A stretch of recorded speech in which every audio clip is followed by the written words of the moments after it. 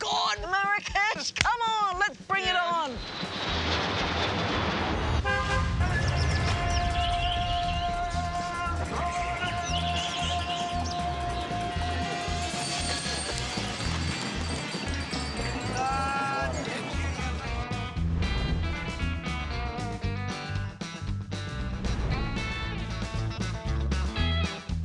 we're most looking forward to on the race is meeting other cultures, meeting other people, just being immersed in, uh, in the local culture, basically.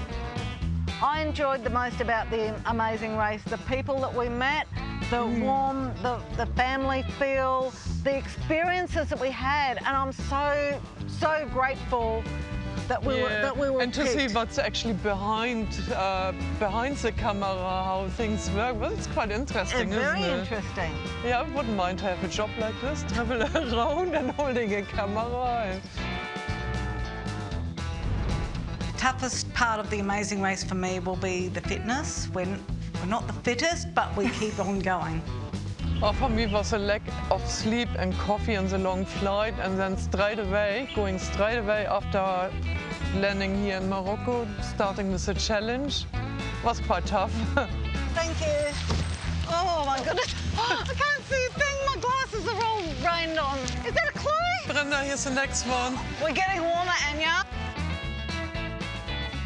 Oh, I mean, it would be great to win, so to get some money and donate to animal sanctuaries as well. But even if you don't win, I mean, it's still a win. The experience and and everything, it's still a win for us, isn't it? Yes. Hello. How many vases did you bring? Vases? Did you get your clue? No, we didn't. Go get your clue. Where is it? We have been looking On the cart. Did you see the cart? Uh, we came last. Uh, we would have liked to have come first, obviously, for the um, for the animal sanctuaries, the animal charities that we wanted to donate money to. Mm. Um, but you know what? We created awareness. Oh, look, the dog. It's so cute. Oh, oh little doggy. We don't, we don't call it, I don't call it coming last. I just call it just being where we're supposed to be.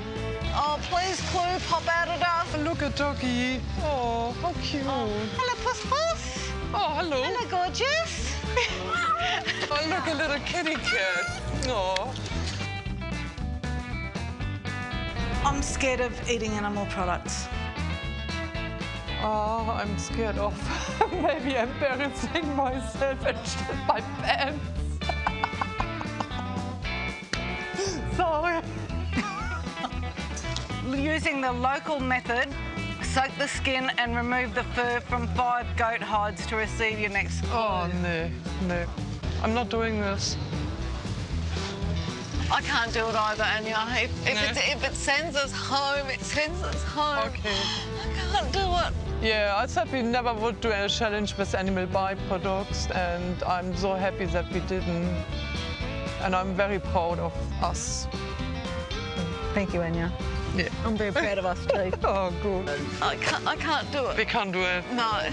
I think that we achieved what we did in a short time. Yeah, and maybe one day we can make a vegan amazing race Australia.